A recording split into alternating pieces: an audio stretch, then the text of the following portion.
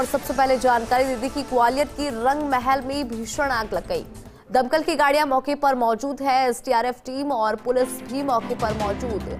Television screen पर ये आग की तस्वीर आप देख पा रहे होंगे और आग पर काबू पाने का प्रयास जो है, लगातार जारी है। आग कैसे लगी? ये अपने आप में सवालिया निशान खड़ा कर रहा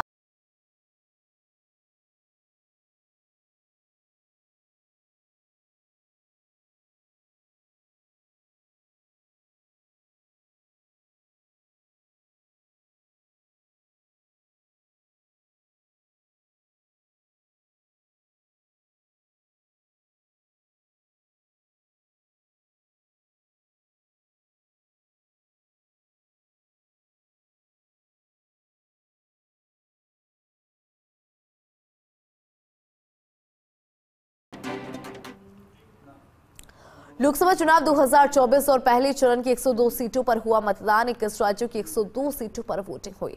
राजस्थान की 12 सीटों पर वोटिंग हुई। राजस्थान में करीब अट्ठावन फ़ीसदी वोटिंग 12 लोकसभा सीटों पर मतदान प्रतिशत। सबसे अधिक अगर बात करें तो श्री गंगानगर में पैंसठ प्रतिशत मतदान रहा। अलवर की बात करें तो उनसठ दशमलव सात नौ फ़ीसदी मतदान रहा। भरतपुर की बात की जाए तो बावन दशमलव छह नौ फ़ीसदी।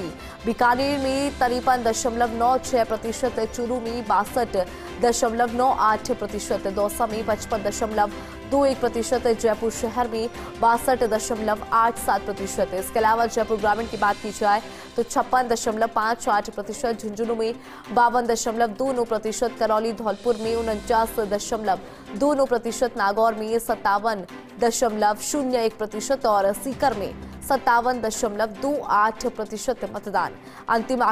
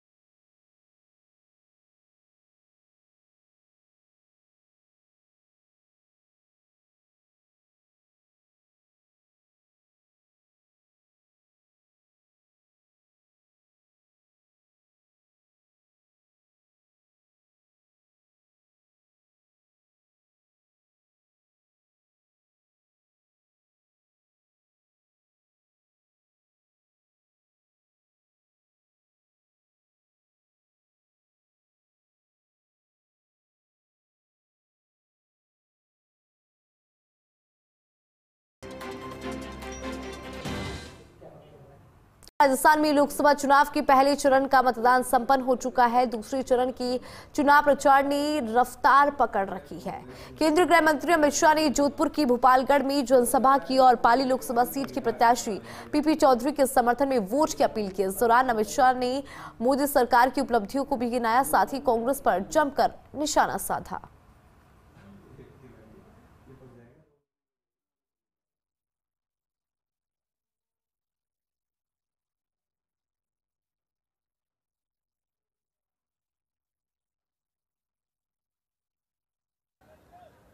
मुझे एयरपोर्ट पर बताया कि पेंडाल उड़ गया है, पेंडाल यहाँ उड़ा, मेरे होश वहाँ उड़ गए। मैंने कहा, इतनी चिल चुलाती धूप में पेंडल के बगैर कौन बैठा होगा? मगर मेरी माताओं, बहनों, भाइयों, आप सभी को धन है। नरेंद्र मोदी के लिए आप सब लोग खींचो खींच भरकर बैठे। पहले चरण के मतदान में देश भर में बम्पर वोटिंग हो रही है और जो जाता है मोदी मोदी के नारे लगाते हुए बाहर आता है।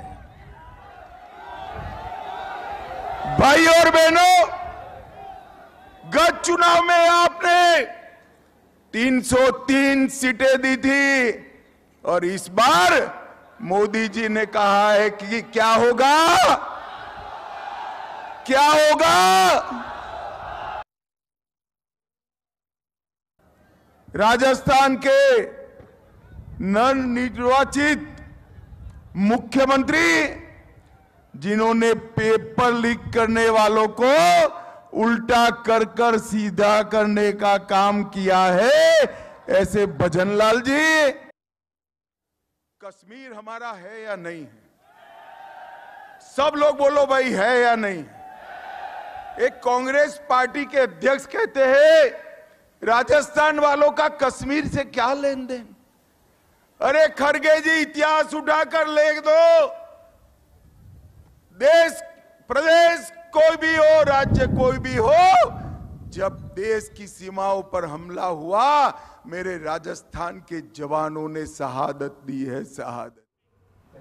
और देखिए, गृह मंत्री अमित शाह ने उदयपुर में बीजेपी प्रत्याशी के समर्थन में रोड शो किया। इस दौरान मुख्यमंत्री भजनलाल शर्मा भी उनके साथ में मौजूद रहे। दिल्ली गेट से अमित शाह का रोड शो शुरू हुआ। जो बापू बाज़ार सूरजपोल पहुँचे। अमित शाह ने रोड शो में जनता से भाजपा प्रत्याशी को समर्थन देने की अपील की। उन्होंने कहा कि भाजपा प्रत्याशी को किया गया एक एक वोट नरेंद्र मोदी को मज़बूत करेगा। कमल पर दिया गया एक एक वोट नक्सलवाद, आतंकवाद को समाप्त करेगा। इस दौरान कांग्रेस पर निशाना साधे उन्होंने कहा कि कांग्रेस का इस चुनाव में सूफड़ा साफ़ हो रहा है।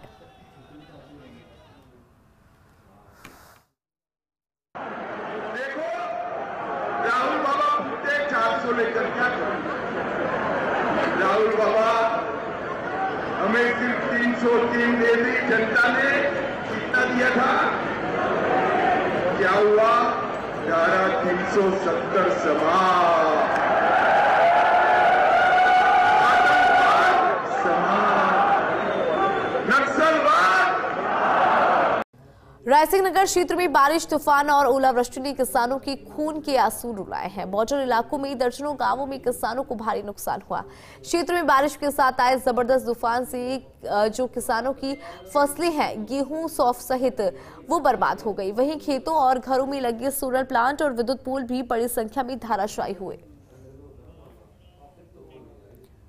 डूंगरपुर ज़िले की पॉक्सो कोर्ट ने नाबालिग का अपहरण कर उसके साथ दुष्कर्म करने के मामले में आरोपी को दोषी करार दिया है। कोर्ट ने दोषी को शीर्ष प्राकृत जीवन काल के लिए आजीवन कारावास की सजा सुनाई। वहीं दोषी पर दो लाख सत्तर हज़ार का जुर्माना भी लगाया।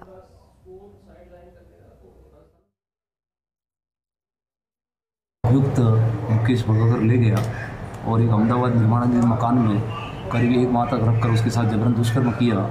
उक्त रिपोर्ट उसके पिताजी ने दम्बोला थाने में दर्ज कराई। पुलिस ने पीड़िता को दस्तियाब कर आरोप पत्र न्यायालय में पेश किया। वैज्ञानिक साक्ष्य में भी घटना की पुष्टि हुई है। आज अंतिम सुनवाई पूरी करते हुए माननीय न्यायालय, विशिष्ट न्यायालय, पोक्सो कोर्ट, डूंगरपुर ने अभियुक्त मुकेश को दोषी माना। अभियुक्त मुकेश को आजीवन कारावास, जो उसके शेष प्राकृत जीवन काल तक रहेगा, एवं दो लाख सत्तर हज़ार रुपये के जुर्माने से दंडित किया। डूंगरपुर की गड़ा, जसराजपुर गाँव में भारत फाइनेंस कंपनी की ऑफ़िस में रखी सात लाख बानवे हज़ार कैश की चोरी हो गई। वारदात के वक्त ब्रांच मैनेजर सहित तीन कर्मचारी ऑफ़िस के दूसरे कमरे में सो रहे थे। तीनों को चोरी का पता ही नहीं चला। ऑफ़िस में लगे सीसीटीवी कैमरे में चोरी की वारदात कैद हो गई। फुटेज में दो चोर दिखाई दे रही हैं।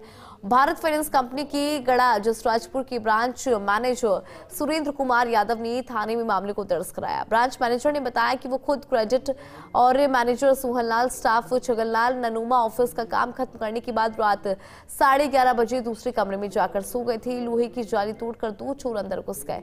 सेफ़ में रखे लाखों रुपए का जो लाखों रुपए हैं, वो चुरा कर फरार हो गए और फ़िलहाल पुलिस फरार चोरों की तलाश कर रही है।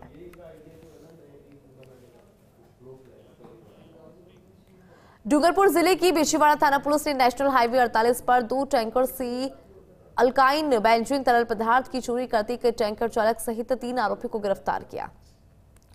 वहीं एक टैंकर चालक मौके से फरार हो गया। पुलिस ने पचास हज़ार लीटर अल्काइन बेंजीन से भरे दोनों टैंकर्स को जब्त कर लिया। जब्त पचास हज़ार लीटर अल्काइन बेंजीन की कीमत करीब एक करोड़ रुपए बताई जा रही है।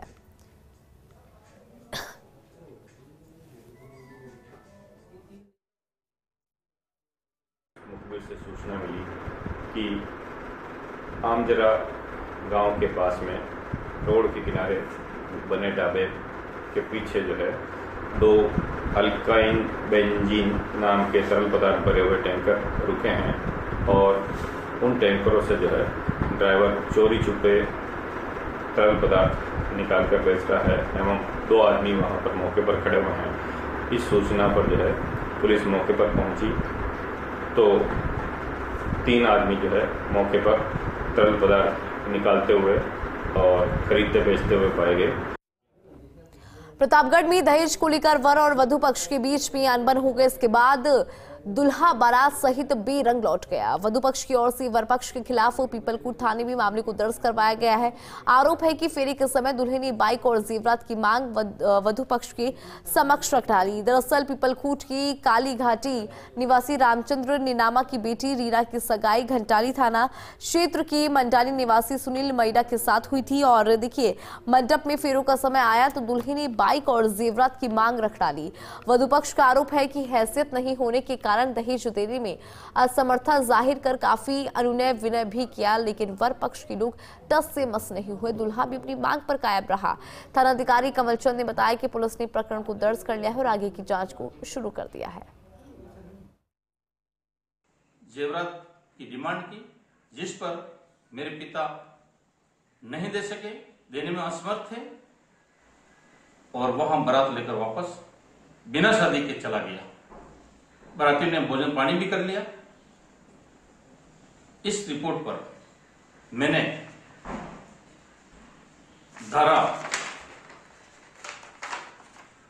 तीन सौ चौरासी, चार सौ बीस, चार सौ अठानवे पाँच सौ से पाँच सौ आईपीसी में प्रकरण दर्ज कर अनुसंधान प्रारंभ किया और मेरे भाई की लड़की की शादी, उसकी रेना नाम है। ग्राम मांडवी से दूल्हा आया था और दू- दूल्हा मंडप के नीचे बैठा।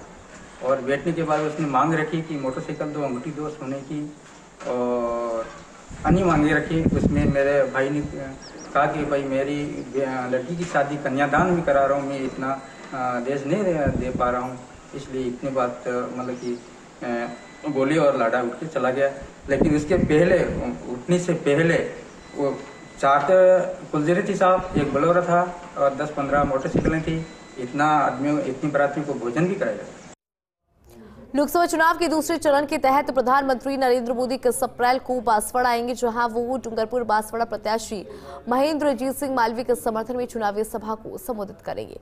इधर पीएम मोदी की चुनावी सभा की तैयारी को लेकर भाजपा के पूर्व अध्यक्ष अरुण चतुर्वेदी डूंगरपुर पहुँचे और भाजपा कार्यालय में पीएम मोदी की सभा को लेकर भाजपा पदाधिकारी की बैठक ली।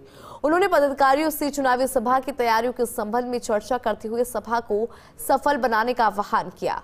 बैठक में बांसवाड़ा, डूंगरपुर सांसद कनकमल कटारा, लोकसभा सीट के संयोजक दिनेश भट्ट और प्रदेश मंत्री अनीता कटारा और भाजपा जिला अध्यक्ष हरीश पाटीदार सहित अन्य भाजपा के पदाधिकारी मौजूद रहे। इक्कीस तारीख को भारत के यशस्वी प्रधानमंत्री श्रीमान नरेंद्र मोदी जी बांसवाड़ा, डूंगरपुर लोकसभा क्षेत्र के बांसवाड़ा में दोपहर एक बजे एक महती सभा को संबोधित करेंगे। और सुबह को संबोधित करके यहाँ के भारतीय जनता पार्टी के प्रत्याशी श्रीमान महेंद्र सिंह जी मालवीय के समर्थन में मत देने की अपील करें उसी के निमित्त आज डूंगरपुर में पूरे शहर के सब कार्यकर्ताओं की उत्सव बैठक